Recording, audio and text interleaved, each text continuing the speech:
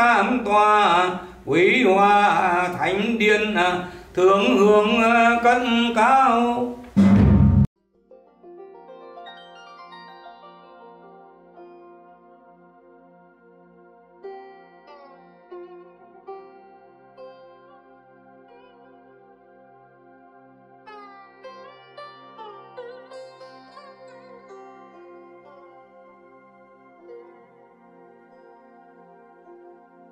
Xin chào tất cả mọi người. Hôm nay xin được gửi tới mọi người thư ngỏ của Ban Quản lý Đền Tam Tòa về việc kêu gọi công đức tu sửa, phục dựng lại giếng vông và khuôn viên đền Tam Tòa tại xã An Hòa, huyện Quỳnh Lưu, tỉnh Nghệ An. Mời mọi người cùng lắng nghe. Kính gửi các quý cơ quan doanh nghiệp, các nhà hảo tâm và con em An Hòa đang sinh sống làm việc trên mọi miền đất nước và cả ở nước ngoài thân mến. Kính thưa các bác, các anh chị cùng con cháu, Quê hương An Hòa chúng ta từ lâu đã có ngôi đền chính Tam Tòa thờ ngài Lý Nhật Quang. Đền chính xã An Hòa được Sở Văn hóa Thể thao và Du lịch tỉnh Nghệ An cho phép nhân dân An Hòa phục hưng lại ngôi đền theo công văn số 2470 VHTT QLCS VH ngày 17 tháng 9 năm 2018. Toàn bộ kinh phí thực hiện bằng nguồn ủng hộ công đức của các doanh nghiệp, nhà hảo tâm và con em An Hòa có tấm lòng hướng về quê hương, cội nguồn. Hiện nay, nhà đền, cổng và khuôn viên đã cơ bản được hoàn thiện, đáp ứng nhu cầu tâm linh của nhân dân xã nhà và con em ở xa khi có dịp về quê.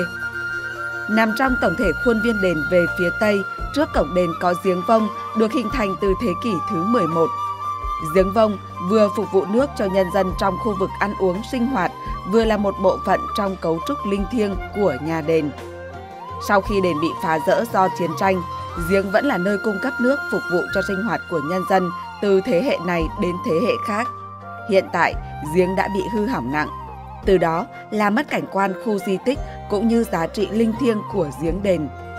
Được sự cho phép của các cơ quan chức năng, đảng ủy, ủy ban nhân dân xã đã quy hoạch tổng thể khuôn viên đền chính, trong đó có giếng vông, đồng thời đã giao cho ban quản lý di tích đền chính trực tiếp quản lý giếng vông. Tuy nhiên, kinh phí còn đang hạn hẹp nên ban di tích đền kính xin các nhà hảo tâm, doanh nghiệp có tấm lòng cao cả, chung tay hướng thiện, công đức cho ngôi đền để có kinh phí phục dựng lại giếng cổ. Thay mặt ban di tích đền, xin kính chúc các nhà hảo tâm, doanh nghiệp cùng toàn thể con cháu sang năm mới có thật nhiều sức khỏe và làm ăn phát đạt. Cầu mong các ngài phù hộ cho bà con nhân dân ta luôn được mạnh khỏe, bình an, quê hương ta sớm vượt qua được dịch bệnh. Xin chân thành cảm ơn trưởng ban di tích Nguyễn Đình Thái.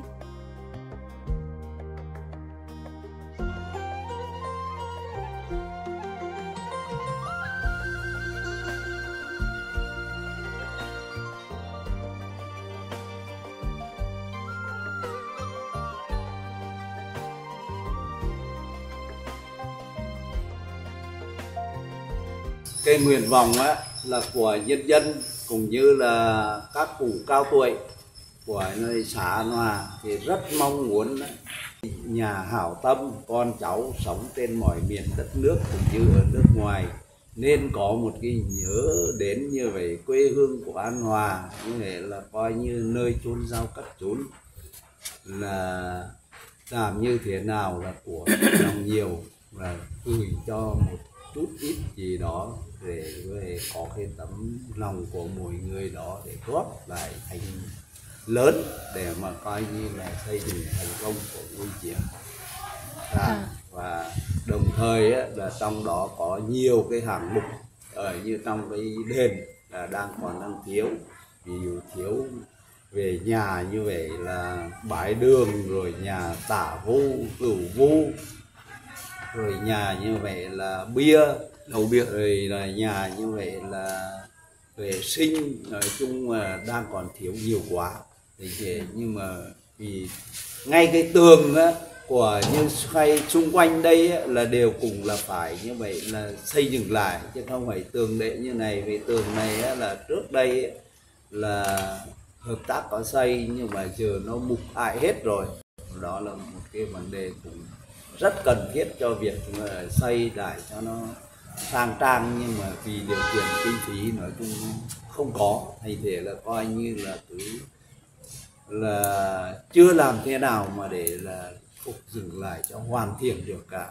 Thì coi như một lần nữa tôi xin đề nghị một con cháu và sống ở mọi miền đất nước cũng như là ở nước ngoài là hướng về quê hương vừa rồi như vậy nó là bác Thái đã nó là có cái lời kêu gọi nữa là con em ở, ở xã An Hòa ừ, trên mỗi miền của tổ quốc cũng như là đang còn là công tác và làm việc ở nước ngoài nữa là hướng về nữa là quê hương hướng về nữa là cội nguồn và đặc biệt là hướng về nữa là cái, cái nơi thờ tỉnh tâm linh của là địa phương ta từ ngàn xưa đến nay thì ờ, tôi rất là thấy rất là cảm kích về cái lời kêu gọi của bác Thái.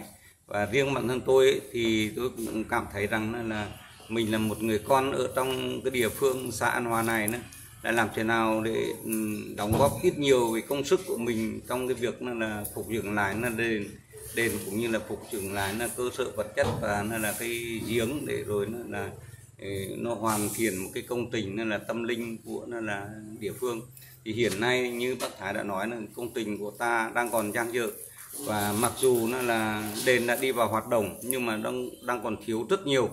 Về nó là ngoài kể cả nó là cái đồ tề khí ở trong là đền cũng như ở bên ngoài thiếu rất nhiều. Cho nên là muốn là kêu gọi là con em ở trên, khắp mọi miền của tổ quốc, cũng như là đang còn sinh sống, làm ăn ở nước ngoài, nó hướng về là Ờ, đền tam tòa để rồi đóng góp cái công sức của mình bằng là cái ờ, cái cái lòng là hậu tâm ờ, phát tâm của mình để rồi nữa là cho đền này nhanh chóng hoàn thành để đi vào là hoạt động theo đúng là cái nguyện vọng của nó là nhân dân ta cũng như nguyện vọng chung của nó là nó là ừ, bà con trong xã An Hòa chúng ta. Ngày 29 tháng ngày 29 tháng ừ, 9 năm 2018 thì đã được ờ, là ờ, tỉnh Nghệ An ờ, đó là sở văn hóa cho phép là phục dựng lại đền Tam Tòa và cho chị là Trần Thị Hạnh là người là, phó là giám đốc sở là ký quyết định cho phục dựng với tinh thần là sống là nhân dân là sống vì văn hóa tâm linh cho là toàn thể là mọi người được hưởng. Thế thì ờ, là trên tinh thần đó là ừ, à, trên ừ, tỉnh cũng ờ, là yêu cầu à, rất mong ờ, là ừ, quyên góp xây dựng thành công à, nhất là cái quần thể của là đền. Thì khi đó mới được là công nhận là à, phục dựng di tích lịch sử của là à, di tích lịch sử của là quốc gia. À, nên là hiện nay là ban à, là xây dựng đền đang còn tích cực hoạt động để à, là tiếp tục đi vận động nhân dân. Làm như thế nào à, là có một cái khoản tiền để là xây dựng cho là đạt được những ý nguyện của nhân dân. Lòng mong muốn này là ban xây dựng đền chúng tôi sẽ tiếp tục là hoạt động. Xin cảm ơn.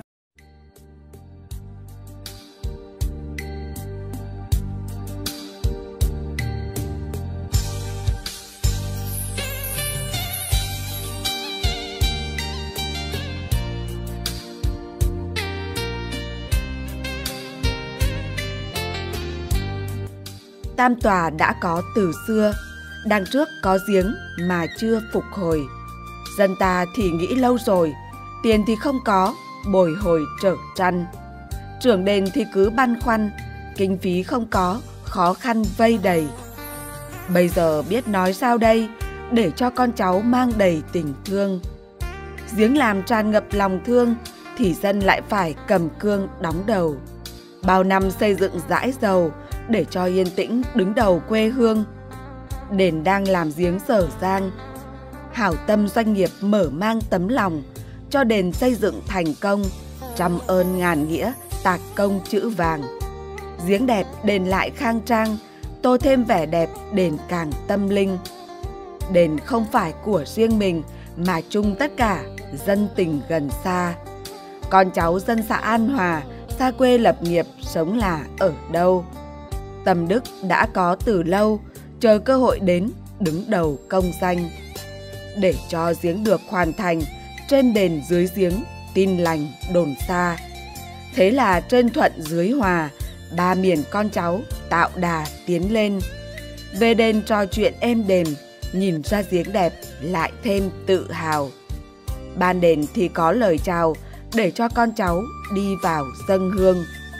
Mỗi người thì ở tứ phương, vào đền ta thấy lòng thương vô bờ.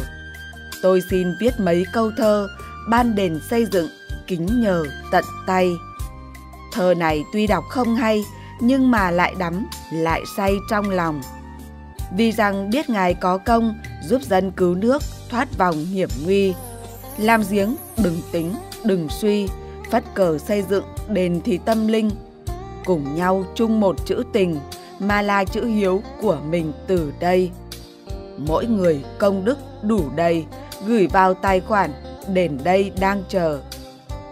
Số tài khoản của đền 360 420 546 3353 Ngân hàng Agribank chi nhánh Quỳnh Lưu Nghệ An Thay mặt ban di tích của đền xin kính chúc các cơ quan, công sở, doanh nghiệp cùng các bác, các chị, con cháu có lòng hảo tâm sang năm mới sức khỏe dồi dào, an khang, thịnh vượng.